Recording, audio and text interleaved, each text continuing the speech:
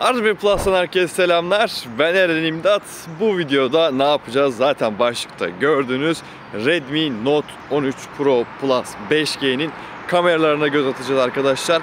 Hem önde hem de arkada çektiğimiz fotoğraf ve videoları bu videoda sizlere sunacağız. Şu anda da ön kamerada 1080'de 60 FPS olarak beni görüyorsunuz. Biraz sarsıntılı çektiğini görebiliyorum. Sizler de videonun sonunda kendi görüşlerinizi yorumlar kısmında bizlerle paylaşmayı unutmayın. O zaman videoya devam edelim.